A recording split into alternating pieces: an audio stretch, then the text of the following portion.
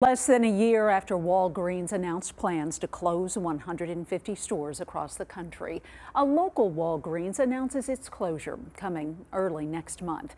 Fox 2's Taylor Harris is in North St. Louis talking with concerned customers and a nearby pharmacy that expects an uptick in new patients. The Walgreens store on Grand and Martin Luther King Jr. Boulevard has announced its closing is projected to be April 9th. That's raising concerns for senior citizens that live nearby. To come down here and find out that it's closing doesn't make sense. In July of 2023, Walgreens announced it would close 150 stores nationwide by this August. Don't take away what we need. You know, there's low income, you know, and they get their prescriptions filled here.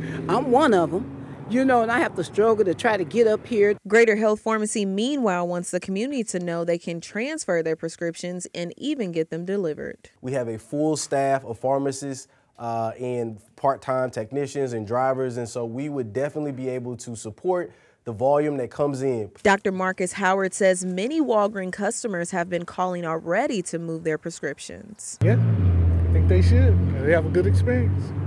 I've had a good experience. They should have one too. We reached out to Walgreens Corporation for comment. Their response was the following when faced with the difficult decision to close a location, several factors are taken into account, including our existing footprint of stores, dynamic of the local market, and changes in the buying habits of our patients and customers, among other reasons. This location's closure is due to unsustainable business performance.